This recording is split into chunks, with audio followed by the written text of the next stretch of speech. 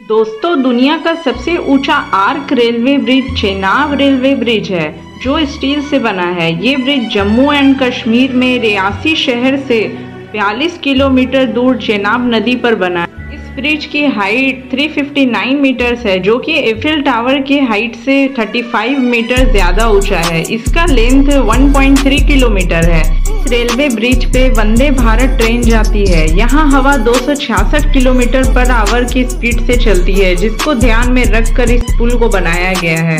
इस ब्रिज को बनाने की टोटल कॉस्ट 1480 करोड़ रुपए है। अगर आपको ये वीडियो पसंद आई हो तो like comment share and subscribe करें।